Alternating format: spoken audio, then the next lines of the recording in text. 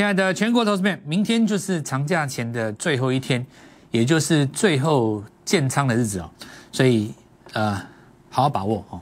那今天的话，想尽办法跟我们联络上。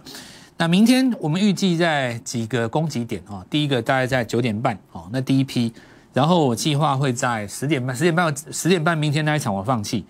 啊，原因呃，我们今天暂时不能讲，可是我会在明天的节目当中告诉各位。那接下来的话，当然就是尾巴哈，一点零五分哦，大概我们这边大概会有三场攻击点哦。然后我们今天就来跟各位讲几个逻辑，大家你们大家都呃，原因我想不用再多说了嘛，对不对？我们上礼拜从我上礼拜跟各位讲准备一笔钱开始，那陆陆续续我们也接到很多的朋友哦，有很多朋友来跟我们讲他的呃所受的一些不公待遇啊，一些苦难。那么每次都觉得行情已经快要反弹了，结果又下去了，又破底。那觉得又快要反弹了，又上去了，结果又破底哦。那这一次呢，本来觉得说可以放一个短空哦，那指数又往下，结果呢，指数又拉上来，把它结算哦，把它把它把它把它嘎掉啊，然后然后什么什么之类的。那明明是一个双降的行情，为什么外资反而这个地方拉尾盘的，嗯嗯嗯像一大堆哦。那每个人都有很多苦要诉了哦。不过，呃。我纵观其实所有的重点大概就只有几个了哦，就是说，大部分投资人他用了不适合他自己的错误的方式哦，那么并不是每个人都适合学巴菲特，可是很多人都叫你学巴菲特，这个我就觉得三言两语我也说不清楚跟你了哦。那但是我觉得你用实际的行动，你可以让自己的命运跟模式做出一个改变。我举一个例子来讲，假设说。你连续赚到两把，第三把你会不会很有信心？对不对？一定会有嘛。你现在没有信心的原因很简单，就是因为你三月抢一个反弹，四月抢一个反弹的失败。那失败原因是因为很多人都告诉你说，这个股票拉回来就是买，拉回来破哪里就随便买。结果呢，你信他的，结果你没有赚钱就算了。重点是什么？你丧失的是信心。输钱哦，跟输信心这两件事的层级不一样。如果你输掉的是一种期许跟你梦想的渴望，那我告诉你就输到骨子里了，就是你连赚钱的那个想法欲望都没有。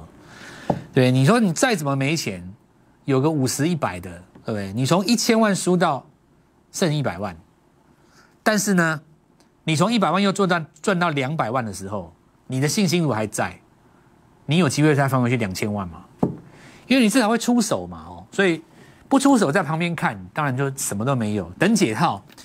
但等解套的话，反攻的也不会见得是你的族群嘛，对不对？因为很多的投资人他是这两年才进入市场，你们不知道市场的险恶之处在哪里。我举一个例子来讲哦，我上礼拜点红海，红海就涨了，对不对？但你说大家真的鼓舞开心吗？我跟你讲，很多都没有，因为你一年半以前去追红海的人，很多在去年都把它剁掉了。你知道剁掉航海拿去干嘛？拿去买联电，对啊，因为你当时台积电破下去的时候，想说破破六百随便买都会赚钱嘛，就把那个两年前买的红海把它剁掉，台电下去，红海上来，对，你说股市险不险恶？我跟你讲，你哪一天哦，你把台电剁掉，你剁掉以后，隔天台电上来了，你知道到底为什么？我跟各位讲，就股票这些东西这样。问题不在股票它的本身，也不是在产业有问题，都没有问题，怎么会有问题？最好的公司都在眼前，怎么有问题？问题是在于你没有去研究它的买卖点跟起涨点。市场上那些写报告的人，他都只告诉你一个故事，讲的过程是就像巴菲特说的，追求短线的人就像是喝醉酒的人一样，对不对？那巴菲特他不追求短线，他经过了十几年以后，他成功了。几个重点，第一个，他在美国，对吧？你做的不是美股嘛，对不对？人家在二战后出生，你有在那么低基期的地方进场吗？你也没有嘛。他本来就有本金，你你你也没有嘛，对不对？所以在散的过程当中，他可以怎么样？置身于世外。但投资人，你今天是三百万在做，你要拿到五百万、一千万，你就要有另外一个做法，叫做什么？一档接一档嘛。所以谁能够提出这个办法来，当然谁能够帮助你。所以我。就不讲了哦。我说上礼拜我已经讲过，多说无益。我们现在就是召集你想赚钱的朋友，把那个心拿出来，你一定可以，你绝对可以哦。那我们来看一下，今天压回嘛，很好啊，这个压回就绝佳买点啊，因为昨天的爆量点在这边嘛，今天并没有把昨天的黑棒、红棒可能吐回去，仅限在这边，对不对？它这个拉回来回撤，只要在颈线的上方都算超强势。你但是因为看昨天这根爆量点，它的低点在这个颈线的上方嘛，所以明天它会有一个空间在。它如果没有来测破这个颈线的话，过完过完端午就是有大行情了。因为季线不是压力嘛哦，你在下方只要超过六十天哦，大盘要这样看哦。你现在左边跟右边差不多高嘛，对不对？这里有一段小小的高扣，哦，了不起到六月中旬盘一下，这个地方上来，这里只要一低扣，这条均线就上来。均线的原理今天不花时间讲的了哦，这个要讲长篇大论了。那以后就是告诉各位，就是六月中旬到下旬开始在做集团股做上的时候，那条季线就会翻扬，飞龙上天了。好，那借这里要注意几件事情，就是赚钱效应是什么？如果一家如果一个市场上全部的股票都涨跌升反弹，那没有希望啊。如果说一个市场上是有创新高的股票在往上冲，对不对？然后他给这个低档的股票希望哦，那就是有有变成一个正向的赚钱效应，所以你会听到很多的这个老派的分析师告诉你说，涨多的股票不要追，涨多的股票高档会震荡，涨多的股票会长黑，涨多的股票爆量就是代表要下车哦。那这种是最标准的哦，上一个世纪的老派分析师啊，那这种老派分析师永远告诉你要做低基期，对吧？我如果猜的没错的话。那么这种做法的话，其实只讲对一半，并不是说做低基期不好。首先，我问各位去想象一下哈，低基期要有梦想，买盘才会进来。好比说，一个村庄里面，所有的小朋友都考不上大学，那大部分的人都觉得高中毕业就可以去工作了嘛。如果说有一个村庄里面出了一个大学毕业、博士毕业，然后呢，到政府机关做位高权重的长官，那一定是。光宗耀祖嘛？那我告诉你，那个村庄里面的其他的家长会尝试着让自己的儿子多念几年书。为什么？因为有一个成功的案例。盘市之所以会抢，从什么时候开始？从我上上个上个礼拜告诉你，台北市的公车，它后面那张叫做电子纸，从元泰创新高那一刻开始，整个盘市就活过来了。因为元泰敢创高。所以低档的 IC 设计有机会上来，对不对？你说老师那有什么关系？有有关系啊！创意拉上来的时候，金金红拉上来的时候，把整个底部的电源管的 IC 跟所谓的那个什么 IP 那几只全部都救活了，全部都活过来了。所以接下来你看到包括中沙创高，对不对？它是创新高上去。今天是什么？你会看到像这个神准涨停板伺服器的回来了吗？然后你你你看到这些股票在创新高的过程当中，包括什么复顶，对不对？创高，那它的消息出来以后，比方说红海，对不对？它加国巨为什么要复顶？逻辑很简单，我太缺了，我真的要做很多台车，我才需要复顶嘛。所以当它创新高以后，你会发现它带动到底部的股票。那为什么会有这么多股票它重新站上季线呢？在底部站上季线的股票，它就想要成为复顶第二。他想要成为元泰第二，他想要成为下一个小中沙，所以才会有人在低档去找那些跟高档创新高一样题材的股票，这叫赚钱效应。正因为很多的股票它升天了，下面的股票才想要企鹅效尤，市场资金才愿意追嘛。所以说，前一阵子很多股票创新高的时候，我就听到很多人在谩骂，说这些股票会补跌。如果这些股票会补跌的话，哈，如果说所有高档的股票都会补跌的话。那我告诉你，你低港股票也不用买了，基本上你要做的是什么？退出股市，等大盘落底，对不对？就是因为多头格局有人要能够创新高，比方说你看创意又上来了，对不对？纵使它今天没有收上去，不重要了啦，接下来一定是爱普了嘛。你看 I P 那几只哦，我们在这里告诉各位，这是右脚，对不对？经过了三角收敛整理的两周。所有的价格上下高低点都在这根红棒的范围内，对不对？没有突破这个范围嘛，都在这里面嘛。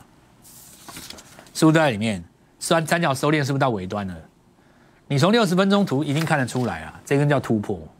那隔天就是多头抵抗，空头抵抗，抵抗失败就要涨停板，站上季线，又是一个站上季线。接下来站上季线会越来越多，超过一百档，每天都很多股票站上季线，站上季线，站上季线，站上季线。你一站上去就表示你强于大盘，打一个底，准备翻上来，对不对？所以你是不是很多股票可以从底部进场，赚到钱的机会非常多？集团要涨的第一个条件是企图心、野心，投资人要获胜心。这就是我在礼拜一的时候解盘再次跟各位讲的。所有的什么股票、名盘、看盘技巧、法人进出、法人筹码、美国股市升不升息，都是次要的。这些都是次要的，最重要的是你的获胜心，把赚钱的心拿出来，对三百万产生渴望。那今天这根爱普就是你的，因为你会想要跟着我进场啊，对不对？这就是我一开始讲的嘛。有的人他因为三月、四月受伤了。他的心呢，缩掉了，对吧？我对股市没有信心了。好，让你的信心回来最好的方法，不是跟你长篇大论，就是让你赚一把钱，对不对？你如果说第一波你有跟到这个跟顶，然后呢有跟到提维西，这一波有跟到附顶，你一定绝对有信心。哪一批很多啦？那我们来看到这张股票呢，中继整理，这爱普下一支，超像的有没有？两个真的是类似的形态很多了哦。来，我们看一下天运啊。那今天一样站上呃季线嘛哈。赚钱效应就是这样来的哈。高高位阶的股票能再创新高，低位阶才有人要跟了哦。所以三幅画再创新高嘛，对不对？特用化学今天什么中华化是不是就低档准备尝试站上季线，对不对？这很容易理解啊。你强的 IC 设计熊都上去了啊，你为什么低档的不会转强？所以你说低档为什么会转强？很简单，因为高档的又创新高啊。这个就叫赚钱效应啊。本来就有一个正向赚钱效应，要不然怎么叫多头？对不对？然后还可以，就是有人会告诉你说啊，这这留上影线怎么办啊？怎么怎么？每天都有人讲这种话嘛。那那种人通常当然手上也没有股票了。越是没有股票的人，越是替别人担心。那这个市场上也蛮奇怪的。真正有股票的人，他反而没有那么担心。为什么呢？因为他已经在赚钱的过程当中了。假设你的三百万资金现在已经四百五十万了，对不对？留个上影线，你会怕吗？你不会怕啦。你你只会问我说：“老师，下一档在哪里而已啊？”因为你的心回来了嘛。赚钱的企图心是赚到钱的第一要件，技巧、名牌都在次要。这个东西垂手可得，因为我就在你的面前。你一通电话打来，我直接告诉你下一档我要买谁。重点是什么？你要打一通电话来，对吧？就这个关键而已啊！拨通这个电话，我们明天进场，一定要在端午节之前进场。好，那我们看一下哈，华兴来，高档有一个上影线嘛，这没什么好解的啊。那现在就是过高之后一定会有震荡，因为当时拉上去的时候拉回来三分之一，这里过高之后未来也会有一个拉回。拉回的话，下一次才有新的进场点，因为这一次最好的进场点过去了嘛。那我们看一下红海一样啊，哦，这个未来来讲拉回还有进场点，那有机会挑战两年前的高点，当然有哦。那个全世界在这个万众瞩目，他那台车，你看哦，这个地方就是所谓的八十，对不对？这个是八十那个点嘛，对不对？你八十只要一站上去，这里就是筋斗云，哦，这里变成一个新的支撑了。你八十只要一站上去，因为这一根站上八十的话，照理来讲，这里空头抵抗，这里要拉回来，过热会拉回嘛？只要这里守住，后面就是喷了，你就一路上八十，就像是华兴这里一样，没有？你只要在这一根站上八十，没没有回来，没有回来，你就站在八十上面，喷出段就是这种格局啊。好，其他股票来哈，广宇了哦。那当然，我们看到这个附顶哦，这最重要的了。那这股票今天又涨停哦，我们看到来到一百四十，筹码非常的漂亮，直接锁了五千多张哦。那我们看一下当时啊，在这边是俗称跳空见鬼嘛。这种形态上礼拜我跟各位讲过，就是说泛红海集团当中，因为它结合那个国巨去入股它，那我们看到有开另外一家公司去入股它，那这边是开高然后压回嘛。那这压回是干嘛的？那干嘛你知道？把同业洗掉。我那时候跟各位讲过了，很多同业在当时这边就买了，然后这次被洗的苦不堪言，洗到哭天抢地喊抢地喊妈妈，有没有？两根涨停上来，这里不敢追吗？啊，很多在这边剁到停损呢。所以我昨天我跟各位讲过，不要乱停损，不要听人家讲说什么什么纪律停损、瞎停损，对不对？你从来我我告诉你，停损是投资过程当中的一个环节，它是一定存在的一个环节，但是它不是目的。为了达到目的，有时候会需要这个手段，对不对？但是，并不是所有经过这个手段的人都会顺利达到目的。很多人把这个东西给夸大了，主要就是说前一阵子在那个很多什么量化交易啊、城市交易的人瞎扯一堆有的东西。那个，我比方说了，你在这边出掉了，我请问你怎么办？要是照我来说，如果是你，你用我的逻辑来讲，我觉得今年很多股票。干脆用加码的，真的啦，我不骗你。有的人认为说什么股票拉回十帕一定要停损，没有那种事情，对不对？你股票拉回十帕一定要停损的话，你你创维从去年到现在大概停损二十次了，对不对？你们停损几次啊？你赚不到钱呐，不是这样子做的啦哦。有的股票呢，它它有一个震荡的区间，就是它下去会在。比方说月线的下方，不要几趴会上来，过高它会再拉回，它锯齿状的嘛。那你每次破都停损上去又接，你不是每次都两头八？这时候你要往上出，往下接，往上出，往下接。好，那这个当然节后的事了，我们就不说了。我们先来看一看附顶啊。那我看一下我们这个逻辑哦。好，那呃非常多的朋友跟我反映说，老师，那我除完息再来买哦，那也可以的啊，因为我觉得你要赚到那个息也不错嘛。因为你它直除夕的隔天是直接开高的啊，它这边是这一天是直接开高的没有？除夕天是直接开高的嘛？我们讲完了隔的隔一天有没有？它直接开高的。好，那我们看一下，呃，昨天是出一个大量哦，有人说这要高档怎么样？开始出现获利了结嘛？然后昨天跟各位讲过，这边大量哦，你只要换手就站上去，因为这个情形跟上一次一样嘛。这里有一个大量的。那为什么有人要在那边出？因为有的人认为说这个大量就是这个大量嘛，两个量是一样的嘛，所以认为说附顶会再洗一次下来，有没有？洗一次下来，对不对？刷一次下来，刚好相反，对吧？好，那我们看一下这一次从一百一十二、一百一十五、一百一十八，今天来一百四十二，大概三十块价差，一张大概三万啊，没到三万大概有两万八哦，那。十张的话是吧？三十万嘛，所以我说三百万呢，第一个目标三十万嘛，对吧？但前提之下是你第一个要，你比方说你上一档要做到，比方说你上一档有做到那个 TVC，对不对？你上一档有做到梗顶，对不对？梗顶拉上来三根嘛，然后呢，很简单，你这边再做三根，那你是不是三根接三根，对吧？每一个人都可以有他的梦想哦，但是不是只有大户才能有他的梦想，对不对？举例来讲哦，手上有一亿的，你可以看一下，一满心一之心大概还不够啦，这个大概要两亿嘛。我前一阵子去看也没有物件在释出，你还得有那个缘分，对不对？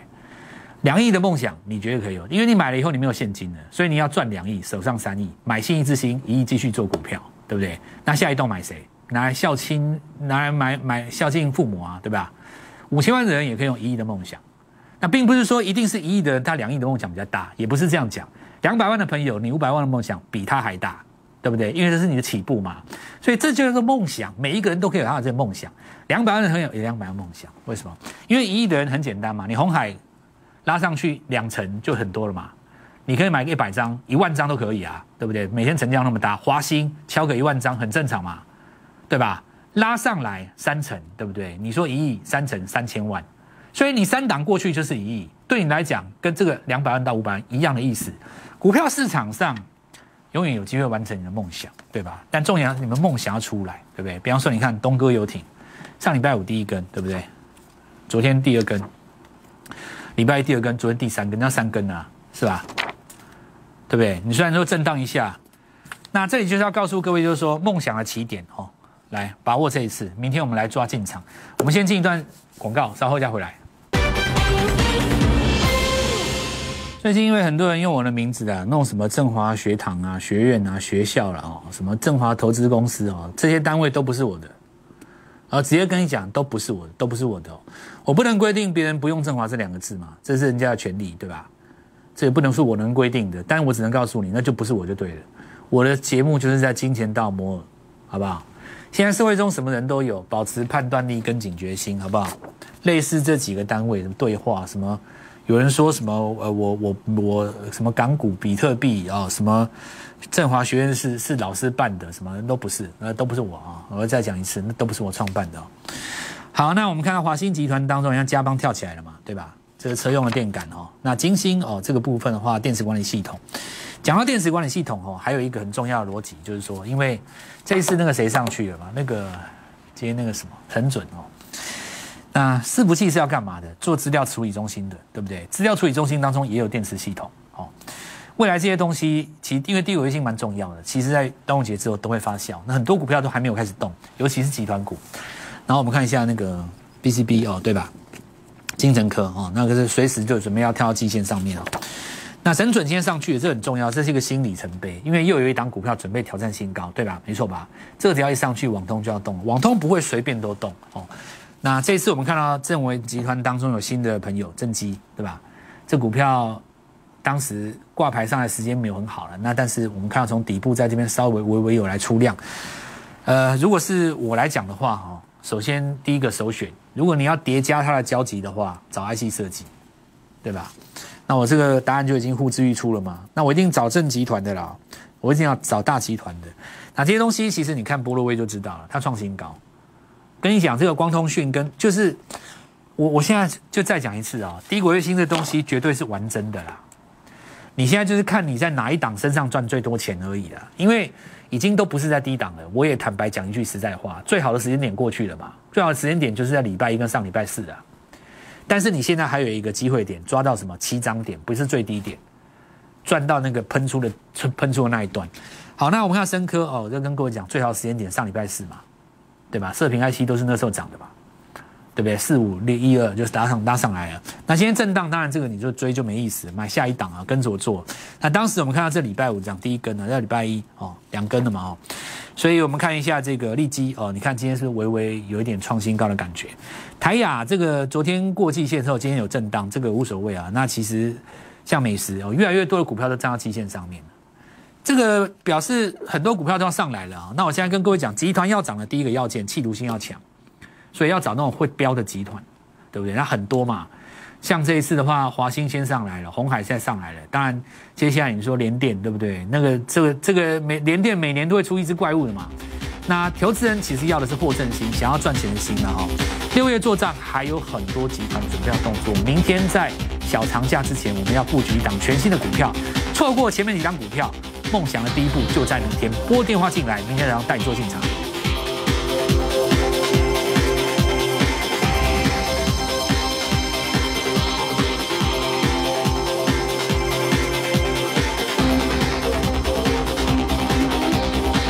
分析师所推荐分析之个别有价证券无不当之财务利益关系。本节目资料仅供参考，投资人应独立判断、审慎、评估，并自负投资风险。